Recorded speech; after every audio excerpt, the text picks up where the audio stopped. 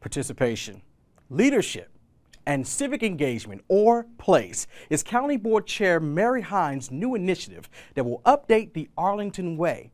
And what is the Arlington Way? Well, all will be made clear in our next segment, I think.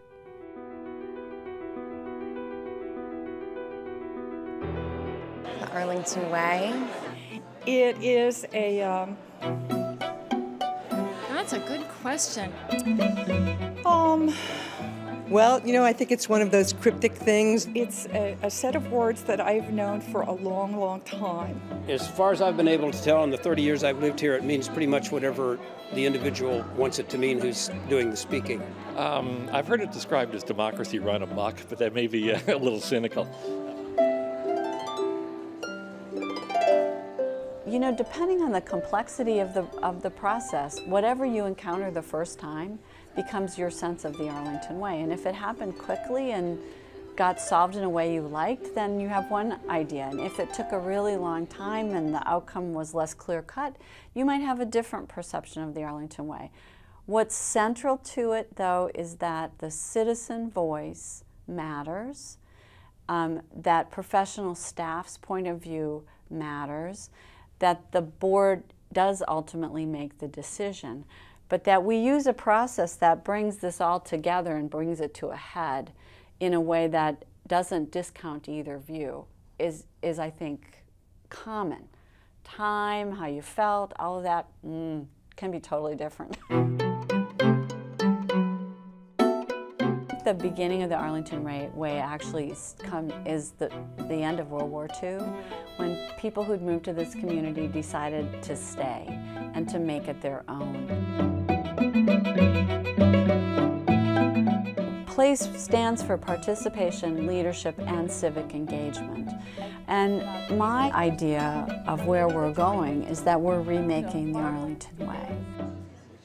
PLACE is an effort to put a little bit more specificity around it.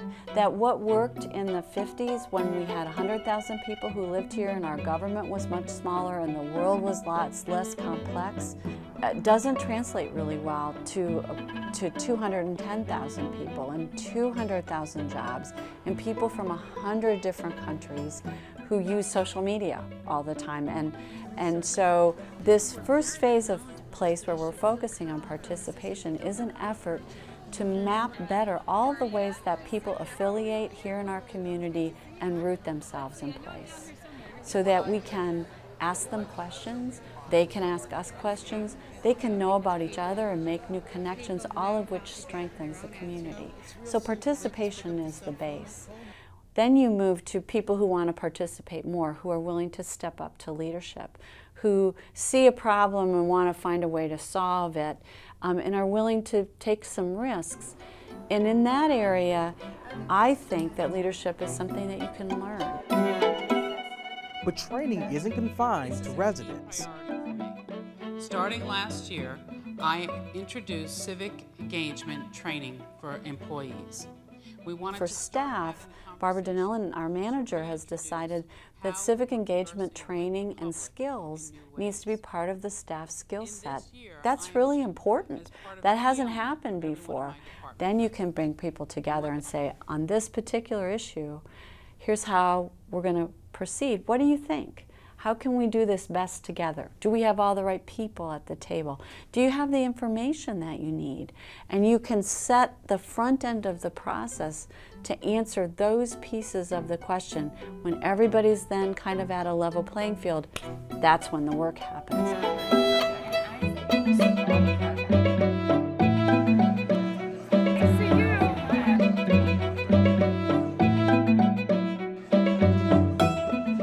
Hoping to attract people who are interested.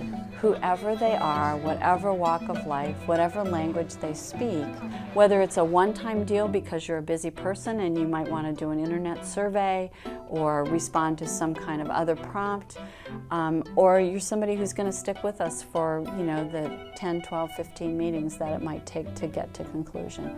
We want to hear from you. And in order to hear from as many people as possible, Mary Hynes has launched Open Mondays. On Monday nights, the county board members are out at one or another rec center or fire station. One of us goes, and we're there from 7 to 9. No appointment necessary, just come on in. And um, we've had as few as three and as many as 50 people show up on any, on any given Monday. With um, Some people come with long lists. Some people come and say, explain to me why you have this policy. Um, other people say, you know, I've been talking to my neighbor and we have this neighborhood problem, but we don't know what to do. Um, we're looking for alternatives. Yeah. Good ideas come from any place, and you just got to spot them and go, ah, that's the one, let's go. We have this incredible diversity.